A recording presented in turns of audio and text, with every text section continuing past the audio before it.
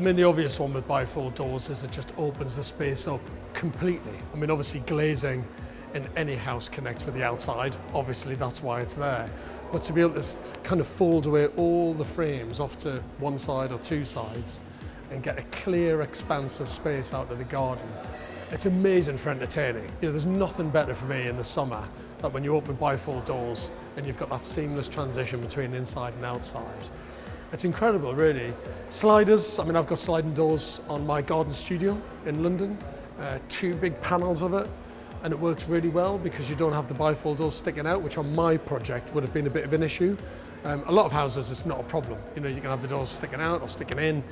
Um, but for my garden studio, I've got a lot of things either side of it, and the bifolds would have looked fantastic, but functionally they weren't the right product for the way that I used the space and I had it laid out. Because uh, it was a garden studio as well, it's not enormous, so bifolds might have got in the way of furniture and other bits that I've got in there. So the sliders are a bit more minimal. You've got fewer frames, and I've got one big glass door that slides over the other one seamlessly, and that glass door becomes the space where you walk in to the rest of the room, and it's it just there's pros and cons with all of them. You know, people will say to me, should I have bifold doors or sliders? And I've got to say, well, let me see your house, let me see how you live, let me see what room it's for. If it's a living room or a kitchen or a dining area, it's, it's potentially going to be different. There's no hard and fast rule about what's right and wrong, and you've got to sit there with the plans and go, okay, bifolds could do this. What effect's that going to have on the layout and the plan?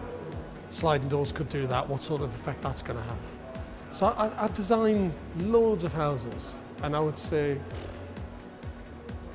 off the top of my head, it's probably even 50-50 between bifolds and sliders. Bifolds might just tip it a little bit when I'm doing lots of kitchen dining areas because they really want those spaces to open out. But it's probably 50-50 between the two.